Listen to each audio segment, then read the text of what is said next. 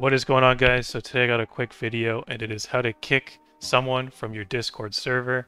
Uh, the main thing with this, there's a difference between kicking and banning. Kicking allows you to invite your friend back to the server or if someone else invites them back to the server, they'll be able to join. One thing though is you'll need to have admin access to the server. So for example, I am the owner. I've created this server here. You'll see a little crown next to my name. One way to know if you have admin access is if you right click on other users in the server here, you'll see some like admin options here like kick, ban, timeout. You have more permissions than this user you're doing it to, and that's why you're allowed to kick them, right? Like I'm a I'm the owner and this is a non-admin user.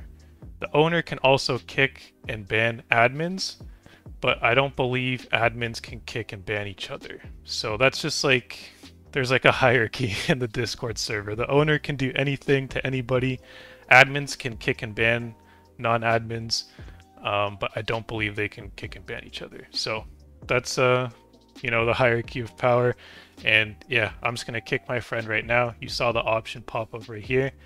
So I'm gonna kick him, and then I'm gonna invite him back just to show you guys like uh, the whole process here. You can give him a reason for a kick.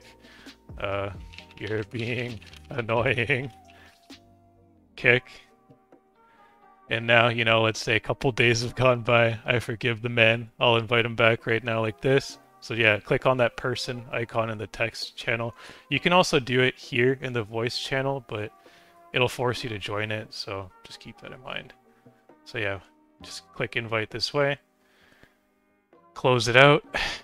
And just like that, he is back in the server. So that's the difference, you know. You can uh, re-invite people once again, so it's pretty simple.